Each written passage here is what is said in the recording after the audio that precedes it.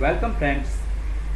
All of you heard of diclofenac, a very common non-steroidal anti-inflammatory drug used for analgesic and anti-inflammatory action. But today we will know about different salt forms of diclofenac. Diclofenac is available in three salt forms that is diclofenac sodium, diclofenac potassium and diclofenac diethylamide. Diclofenac sodium and diclofenac potassium are available in tablet and injection form. For example, tablet Voveran contains diclofenac sodium, whereas tablet Volini contains diclofenac potassium.